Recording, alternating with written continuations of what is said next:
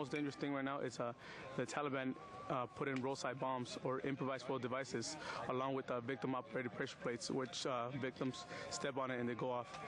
Pretty much that is our main concern now, since the Taliban is either gone, but we believe that they're hiding and observing us.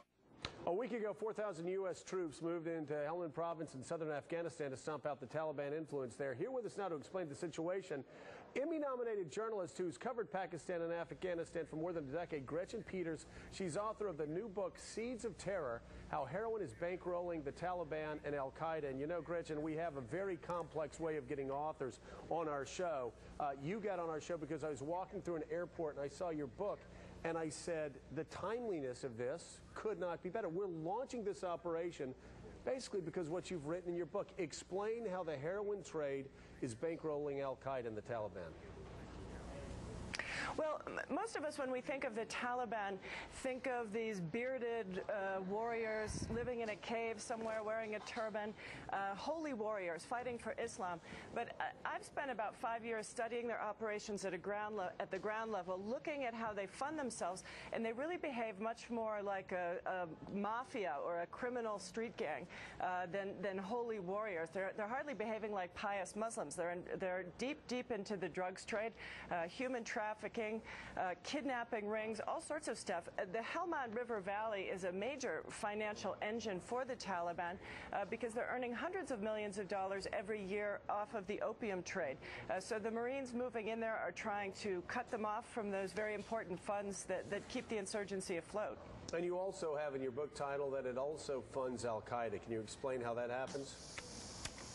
Absolutely. The Taliban, the Afghan Taliban I'm talking about, uh, control the drug trade and, and, other criminal activity inside Afghanistan up to Afghanistan's borders. From my research where al-Qaeda and other regional and international extremist groups come into the equation is when the drugs are processed, they reach the Afghan border, they're going to be smuggled to other parts of the world, the Middle East, uh, to Russia and to the West. A lot of it ends up in Western Europe.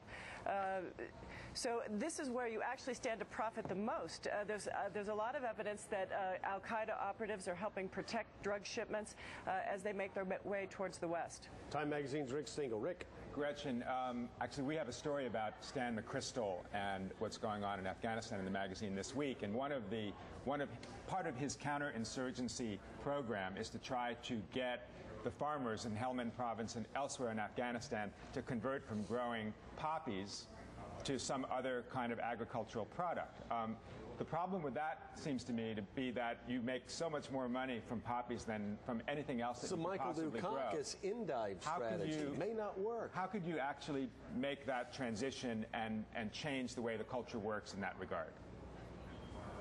Well, I think it's going to be a very, very long uh, and difficult process to shift the farmers off of poppy.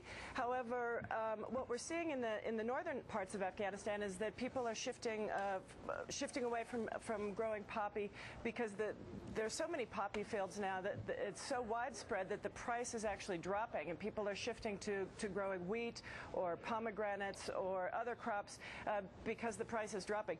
Uh, what uh, General McChrystal and the, the uh, uh, Pentagon are trying to do is actually uh, put the focus off of the farmers and onto the trafficking groups, the, the cartels that run this. There's a huge number of people who are engaged in the poppy trade at the agricultural end, but they really don't earn that much money on the balance.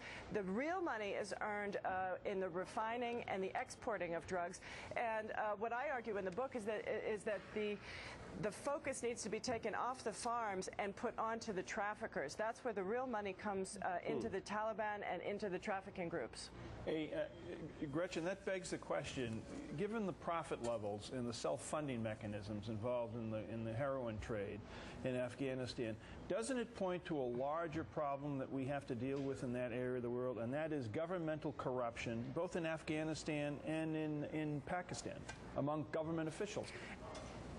Absolutely, absolutely.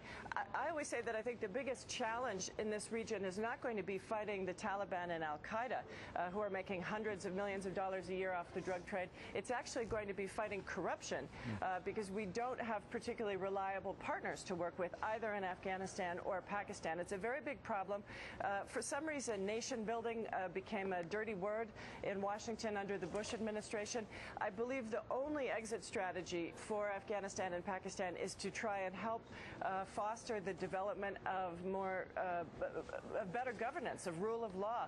These areas where the Marines, for example, are moving into in Helmand uh, have literally not been governed uh, in, in decades. They've just been allowed to, to drift, and we're seeing the result of that. Lawless, ungoverned spaces are magnets for uh, extremists, for criminal gangs, and that's exactly what we're seeing in the border areas between Afghanistan and Pakistan. But it's a tough neighborhood. I'm not suggesting Yeah. this will be easy.